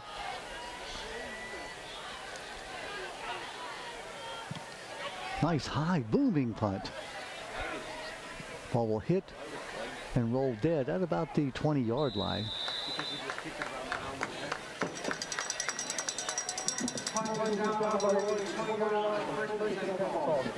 Fallston will take over as they're able to stop de Grace uh, and force the punt. That's Jordan Watt, their excellent wide receiver, punting the football for them. Yeah. That ball was kicked almost out of the light view. Uh, nice high booming punt. So the ball will be at the 20-yard line. Give Fallston credit. They come out and they stop the Warriors on the first possession here in the second half. Nine minutes, 40 seconds. Clock stopped as the teams change sides. Colin Aikens going all the way at quarterback for Fallston. Done a nice job. Looking to throw. Has a man oh, off his fingertips. Looking for C.J. Turner. Boy, the Warriors, Bob, are ball hawks back there. You look at uh, Jordan White has uh, six interceptions coming in, five interceptions for Jaden Hyman, two interceptions for Josh Mergler. I mean, the ball's in the air. They're the ones going for it. Yeah, uh, just looking at that play, one of the things that Fallston is doing is is they're running two kids in, into the same place, one a little bit behind the other, and, and are actually having the the lead receiver almost being a, a, a screen for the guy behind him, and, and they had they had a chance for the catch and yards there, except he didn't catch the football. High pass, bit over the outstretched hands of Nick Curry. They'll bring up third down. Colin Akins, uh, the senior quarterback, Completed 56 passes coming in, 48%, two touchdowns, 588 yards, seven interception throws.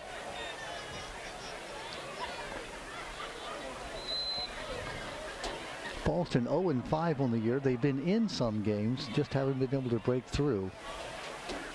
Well, you know, I'm impressed with what they're doing technically. I, I, I mean, they're, they're they're running good stuff. They're they're putting their kids in position, and they're just getting out talented. But but they're not giving up on anything. They're working their hearts out here. Third down.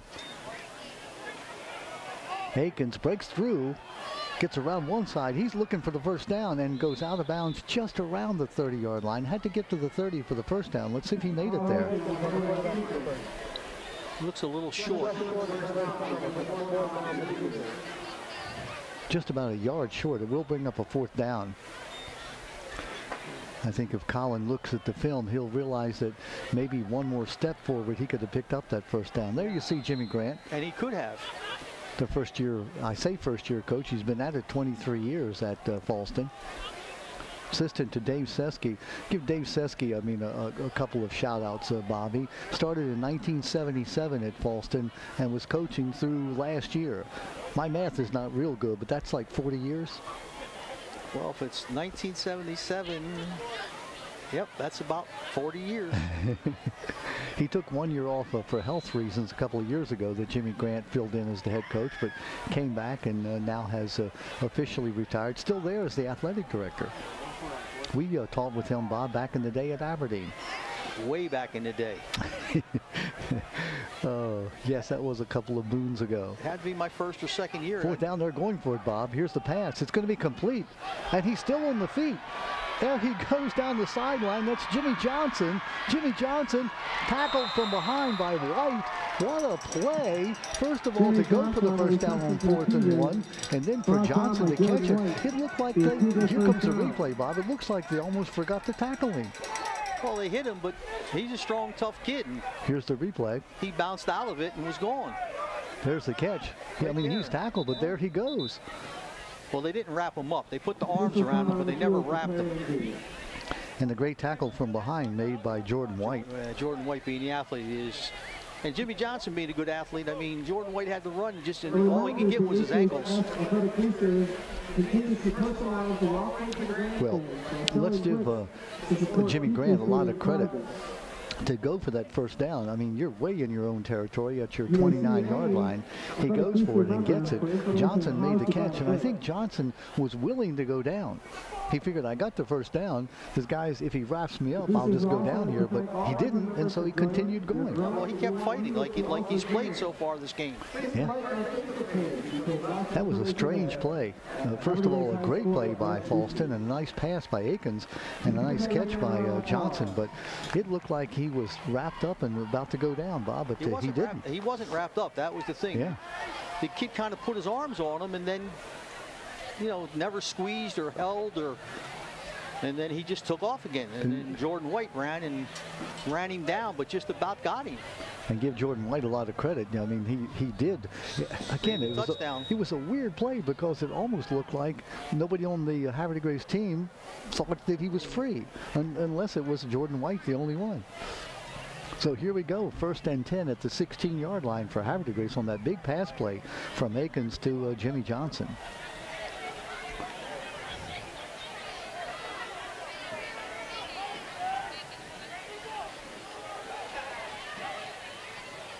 Handoff inside. Into uh, Rabbit. Was that Ra- That uh, was 32. 32? Yeah. Yeah, and that was Connor uh, Pickle. Connor Pickle, who's normally the uh, extra point kicker in playing fullback. Was it 32 or 22? No, I think it was 32 on that. Yeah, Clavin is 22. I'm sorry that uh, the numbers seem to run together down there. We're about 50 yards away from the play. Clavin's in the backfield now. No gain on the play. Second down and 10. The ball again at to 22. Akins to throw. Rolling out. Now throws. Into the end zone. Was that picked off? Intercepted, yes. Looks like five. Here comes a replay. You'll see this uh, takeaway. Warriors first and 10. You'll watch how he throws the ball on the run. Yeah, that's a, a Jalen Day who makes the interception. What a play. Day cutting inside the receiver and making the interception in the end zone. So a touchdown saving interception by Jalen Day. Jalen Day, a sophomore on this team. So the Warriors have lots of senior talent, but they also have some underclassmen as well. First and 10 for Havre de Grace at their own 20-yard line. Back to throw. Griesok has his man. Taken down. That's Rabbit with the catch. Yeah, Short Mike gain. gained one. The Warriors. No gain on the play, second down. Yeah, he gained a yard on the play. That's it. Second down, a very short yard gain. He's got a long nine to go for first down. Clock running at seven minutes and 30 seconds left in the third period. That's a score of 30 to seven. That's what it was at the half. Fallston stopped the Warriors on their first possession and drove down to the goal line before it was intercepted, and now Havre de Grace has the ball back. Pass, good. White shakes one tackle, hanging on and making the tackle. That was Nick Curry, who said would not be denied, but it will be a first down. The ball's up to the 38-yard line now. Bob Griesok has a nice quick release. He just holds the ball almost like a catcher throwing the ball up to his ear and then just guns the ball. Very smart, very athletic. Well, technique-wise, that's the way you want your quarterback to be. Jordan White gives him a nice target. With White again to the outside. Well, White went inside the last time, and now he came outside on this one, and he's made two catches. Now he's down to their 47-yard line. Two first downs. Very nice sportsmanship there. He and Nick Curry exchanged handshakes, both saying, hey, nice catch, nice tackle. Looks like White lost a shoe. He's on the sideline momentarily. You'll see the Havre de Grace uh, bench with uh, Brian Eberhardt. Uh, eight years a coach here. He's also the basketball coach here at Havre de Grace.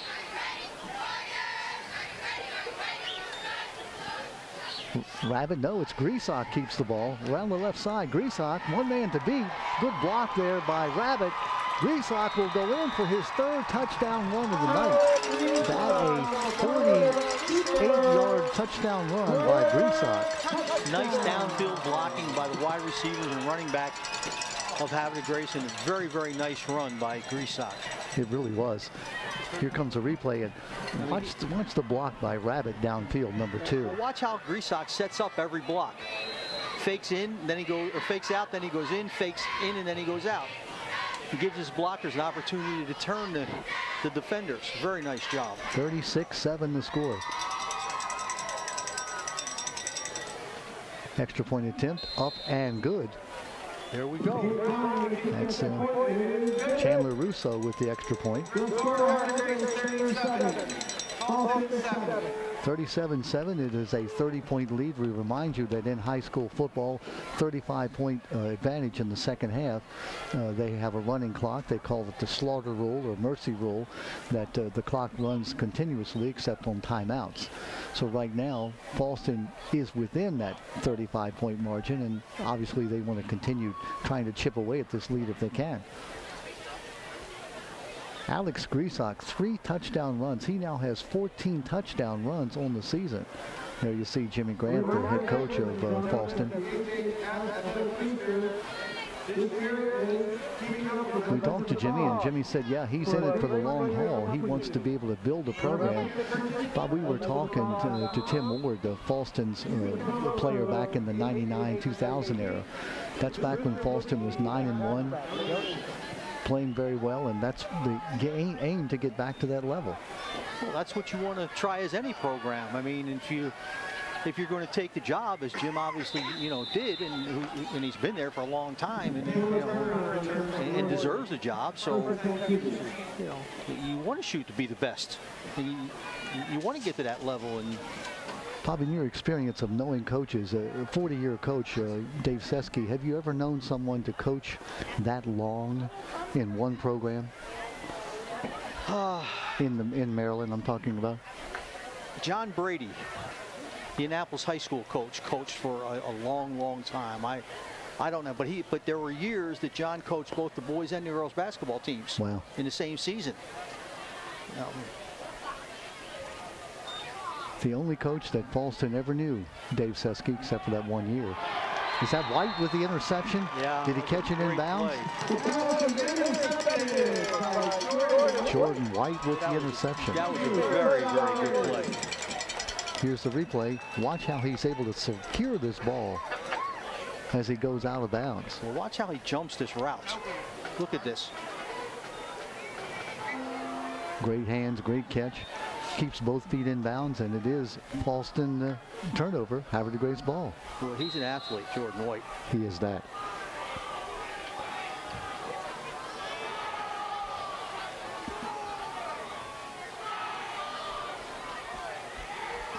Grisak. Big rush, gets it off, long throw.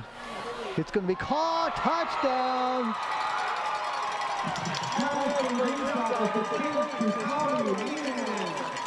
Try- Trying to get a number, Bob, on that uh, Six, it looks like. yeah, it is. Does look like number six. It is number six, and that's Tommy Meehan. Tommy Meehan Jr. Here's a replay. You'll see this pass from 37. Beautiful. Oh, perfectly thrown. Avoids the rush, fires it up, drops it right into the bailiwick. When I saw the back going out of the backfield, and he was wide open. He could have gone down the field for 30 yards himself, and Grisak just looked the, the whole way to make the throw, and just a perfect, perfect throw. Great catch. Grisak to Meehan. And extra point is good. 43-7. And now we're in the mercy rule time. Check it. The extra point was not good. The clock is still running now. Yeah, 43-7. Uh, math skills never my greatest, but that's 36 point difference. It's more than 35, Don. That's all. And the clock will continue to run now with five minutes and counting left in this uh, third period of play.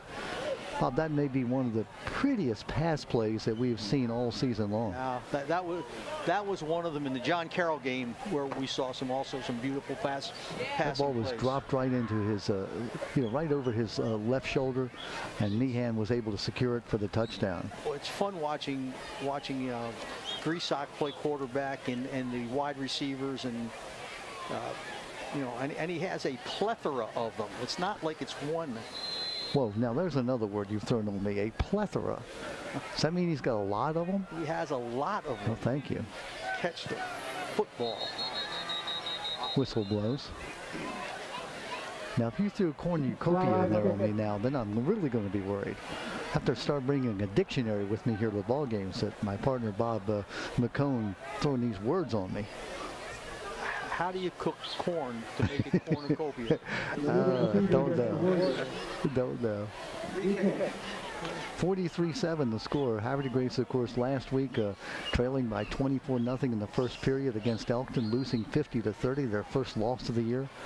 They come back today, and uh, of course they have come back with a vengeance. They have played very well.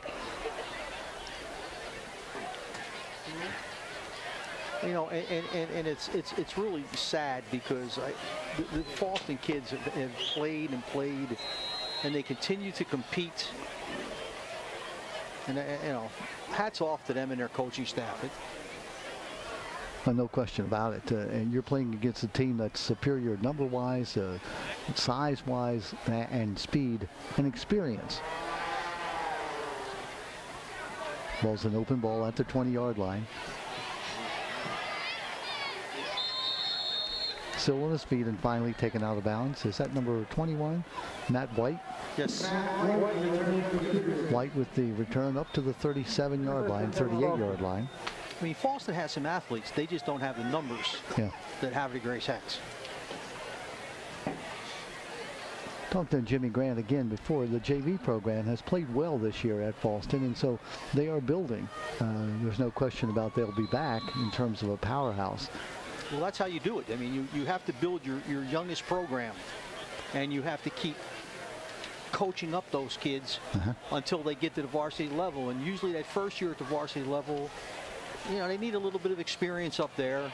And then when they're good players and their technique's good and they're coached well and, and they work hard like these kids do, then good things really start to happen for your program. Cleveland in the backfield along with Akins. Akins looking down the middle, has his man. Uh, flag down, no.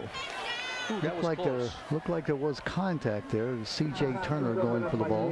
There was contact. It was close. We saw the flag thrown in the first uh, uh, period that uh, looked like that might have been a chance for the, another flag to be thrown, but it wasn't. Yeah, the official had a, a difficult angle because he, he, he- the defender bumped him Uh-huh. from the front to the offensive player's back, and and the back judge had to look through that to see, Yeah. you know, to see if it was bumped, how hard he was bumped, whatever. And you know, obviously, unless you're Superman and have eyes that you can see through people, it was tough. Josh Mergler, the young man who was the defender on that play. Shivers with the good play by Clavin to block It Shivers is. off. Got a running back knocking the big, the big man off off the, off a play. Brandon Clavin uh, had the angle, and uh, Mr. Shivers was coming in looking for fresh meat, and all of a sudden uh, he got uh, he got tackled. Maybe Coach Grant realized, hey, my tackle's not blocking him. I I know my running back can do it, and so now he gets the running back to block him. And the guy, eh, and he did a great job.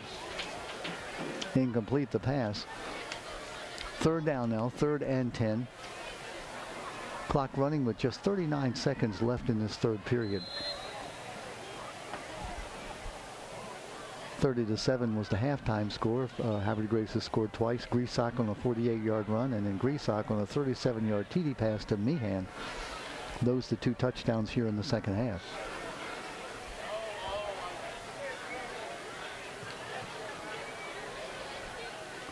Third down. Probably the last play here of this uh, third period. Pass play. It's going to be intercepted by Mergler. Josh Mergler has the ball right in his uh, in his stomach, and he wraps it up and runs, turns it down to the 20-yard line. What a, what a great drop by Mercer. Mergler had two interceptions coming in. Now flags go down. What a great, great drop. I mean, he, he, he flew right out into that open zone, what he was supposed to be taken care of, and the ball was thrown right to him because he was in the perfect place. Here's the replay. You'll see exactly what Bob McCone's talking Watch about. Watch him run to the right here. Watch 14. There he goes, right over to the right in this drop zone. And quarterback probably never sees him. All the quarterback saw was Curry open, and Mergler came in and made the interception. Josh Mergler, 30, 13.7 tackles a game, two sacks coming in, now has three interceptions. It's going to go against Havre Grace, the penalty after the play was over. So the Warriors will have the ball as we begin the fourth period of play.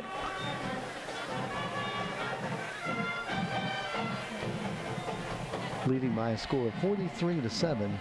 That is the end. The Fallston young man uh, is really enjoying this Havre Grace music, Bob. Number 18, Ryan Langlotz. I tell you, the Warrior Band is great. They do a great job. And you know if you can convince your opposing team to go into a dance, there you see the, the band. How long has Mr. Huff That been is the the end of of the this third band quarter. now?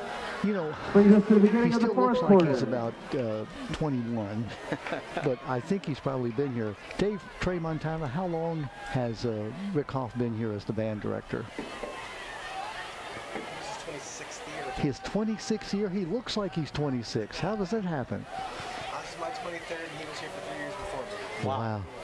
Dave Tramontana just told me that he's been here 23 years. He also looks like he was about 23 years old. Did he hear me?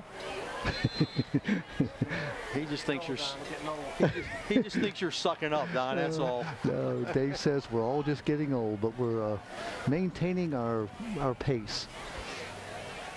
Dave doing a great job as the PA announcer here. Fumble picked up, and now it's loose. So Real let's see who got The it. Havre de Grace player came down with it, Yeah. jumped on it. It looked like Fallston had a chance to get it. Number 50, Brandon Stokes. Brandon Stokes comes in and makes the recovery.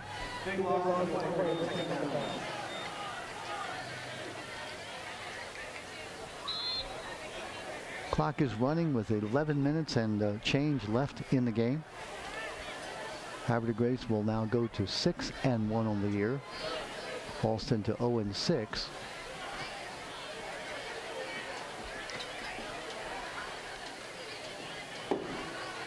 Rabbit hands the ball off. Yeah, there's Rabbit in at Max quarterback. James, Yeah, new players in the ball game, but Rabbit is uh, at He's the a quarterback. 84 was the running back on this Yeah, play, and he, yeah. he's a freshman, Max James. That was that speed option where Rabbit had the direct snap, put it in the uh, in the stomach of uh, Max White, Max James, that is, and James ended up with the ball. New player coming in the ball game. Uh, Montez Chin back in the ball game, number yeah, one. we saw him on the what one of the first plays First of the play, game. yeah, pretty much. For, I think it was the first play of the game. Demontes Chin, a sophomore. So a lot of the young players now getting a chance to play here as the clock winds at 10 minutes and 30 seconds. Yeah, Coach Eberhardt's starting to clear his bench a little bit. Another bad snap. Hit in the backfield.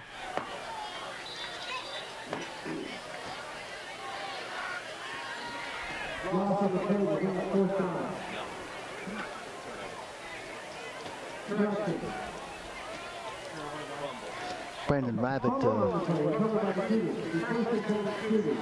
There was a fumble on the play, and they said Fallston recovered. Yeah, it looks like Fallston's able, Justin Weekend, able to come up with a fumble. Now, he's had a good game for Fallston He has today. that. He's played well. Justin is 6'2", Jimmy 170 Johnson's pounds. played well for Fallston today. Quarterback Akins has played well as uh, in addition.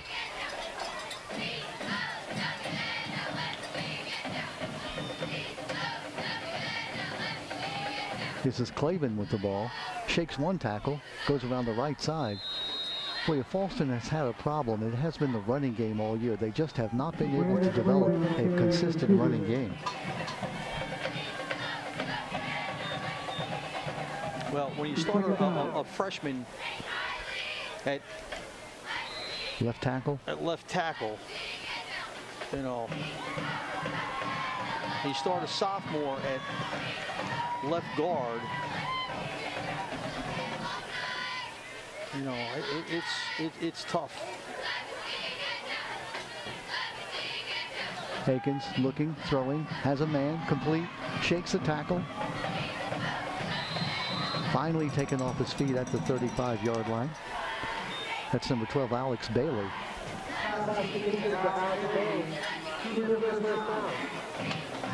Alex Bailey, the 4.55 GPA student, makes his second catch of the night. First down and 10. Ball just outside the 35-yard line at the 36. Clock winding at 8 minutes and 20 seconds. Coach Eberhardt has a lot of his young kids out there now on defense for Havre de Grace. There's a handoff. That's Clavin. Clavin hit and held. We've got Joe Martin on the tackle. And Josh Mergler still in the ball game. You see, Harper's uh, in the ball game, but he's taking them out little by little here. Uh, Rob Shivers has uh, played a trick on us. He switched numbers, uh, Bob. He has number 55 as well as number 27.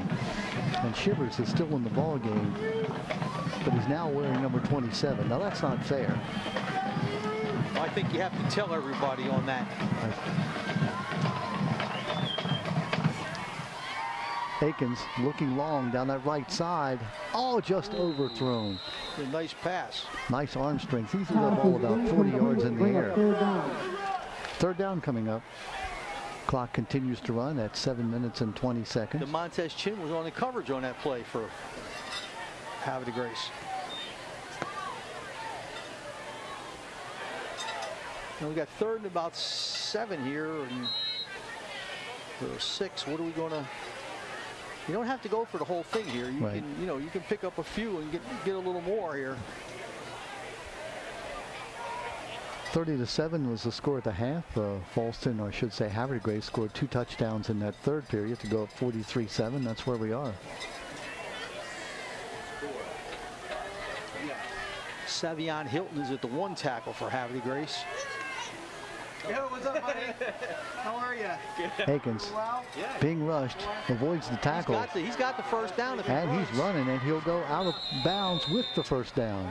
What a nice play by uh, Colin Akins. Akins showed some speed, Bob. Now, number 60, Devon Baker's in the ball game now for Havre Grace. Trying to get down at Havre Grace. Number 56, Skylar Lindsay.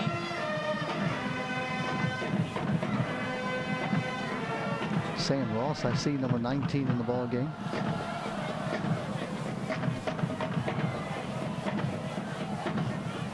Number three, is that Orion James? Antonio Thomas, number eight, also in the game. Clavin around the right side, trying to look for the corner and gets a little bit up out of bounds, maybe at the, uh, looks like about the 20-yard line. Five-play drive started at the 50. Clock running at five minutes and 30 seconds. Second about eight now. Bob, it's been an entertaining game, obviously a one-sided game, Havre Grace using its talent, but uh, as you said, Fallston has hung tough. They've played hard. Yeah, Fallston has played, and, and they, they, they're, they're playing to the end of the football game, which I really respect. And the, the kids have belief in themselves. You know, you're going to build a program like that. You get kids to play like this for you, you're going to build a program, you're going to be successful. Boy, look at Akins go, gets another first down. Akins on the quarterback keeper. I'm sure that uh, Jimmy Grant wishes that he could take Akins and change that senior after his name to junior. Well, you, you'd love to be able to keep the kids who have made you successful over the years and, you know, be Peter Pan and never get old. And uh, But the thing about high school sports is that it's four years. Uh-huh. And you get your four years in and you move on to bigger and better things. Well, Colin Akins has really uh, demonstrated his ability here tonight. Four minutes Number and 20 seconds. 23, Zach Anderson has just come into the ball game for Havre Grace. First down and goal inside the 10. Akins looking, looking, now rolling. This young man has run very well. Akins goes in for the touchdown. Colin Akins goes in from nine oh, yards out. Nice play. 43-13 the score.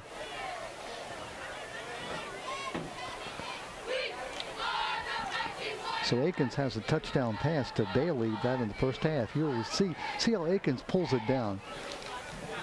He really has good wheels Oh, he can run. coming right at you. In for the touchdown. Nice job in the truck.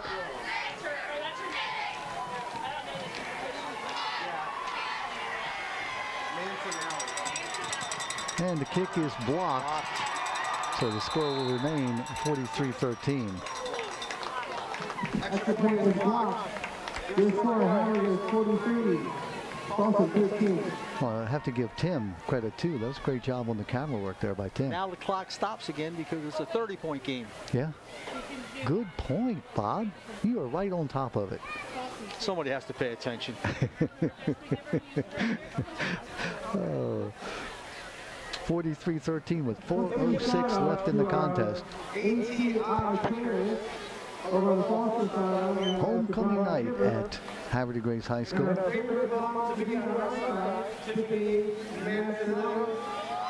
Haven't had a chance to thank Heather Crawford, the athletic director, and Jimmy Reynolds, uh, the principal. Brad Spence, the assistant principal. They really made us feel very welcome here, as they always do at Havre Grace.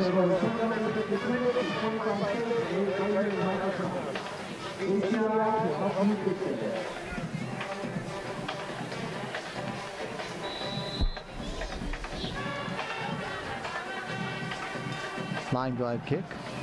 Hits off a Havre de Grace player and wisely downing the ball there for the Warriors. The ball at the uh, 26, 27 yard line where Havre de Grace will put it in play.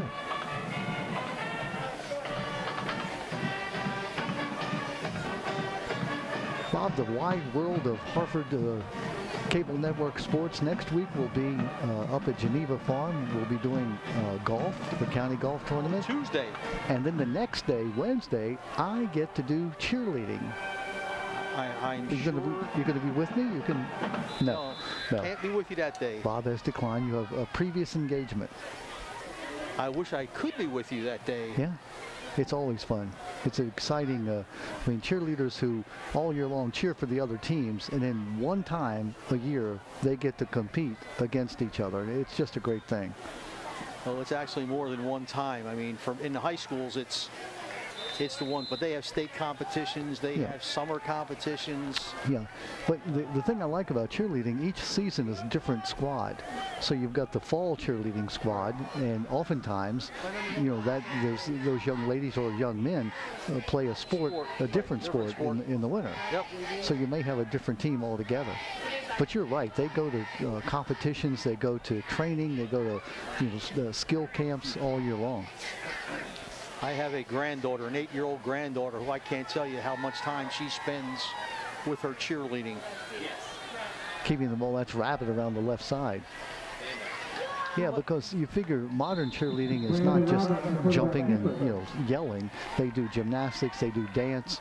Uh, it- it's just amazing the kind of athletes they are. And they throw my granddaughter up in the air like they don't care where she lands. See, I, I tell my granddaughter, who is also a flyer, I say, put on weight, okay? Please. Convince people that you are going to be a base, not a flyer. Our great friend Terry Cranefeld, who was a cheerleader with the Ravens, and before that was Severna Park, her entire senior year she spent in the cast where they threw her up and forgot to catch her.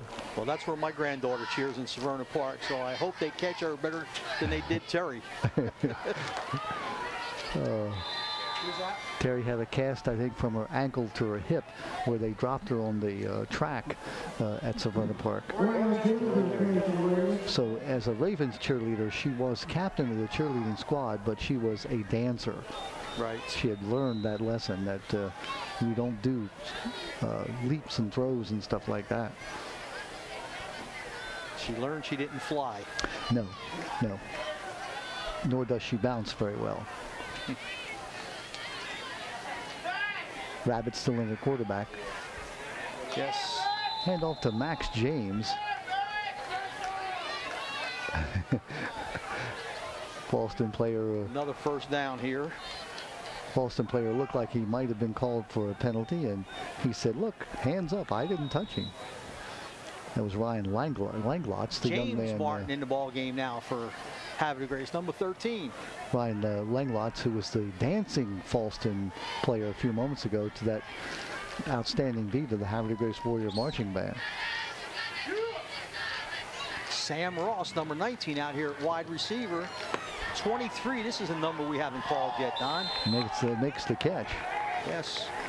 You have to Oh, pardon that's Zach uh, Anderson. Called him once. Zach Anderson, Yes. the number one Number person yeah. in our list of players because they list them alphabetically. Yes. Now, if they would only play alphabetically, we could call their names much more quickly. Clock is stopped. No, it's running now at 113. Yeah. I think he stayed in bounds and was tackled. He did. Coming up on the one minute mark left in the contest. Two plays, Don. Should be it. Uh, Gay and Handoff inside. That's number three. That's uh, Orion James, the name we haven't called yet. Orion James, the carrier. The Warriors, down. That's going to be two plays now. First down, the clock stops on the first down. This drive started way back on the 27-yard line of de Grace. They moved smartly down the field. They're trying to bleed this clock down, so maybe they only have to run one play. Maybe they'll take a knee here. Let's Well, see. Yeah, Brian Eberhardt, the de Grace coach, understands that. Uh, yeah, it looks like they are in the victory formation. This should be the last play of the game. Takes a knee. Clock continues to run. That's 10 over. seconds, 9 seconds, and that will be our final score. 43 to 13. I'll ask the folks in the truck, will we have time for post-game interviews?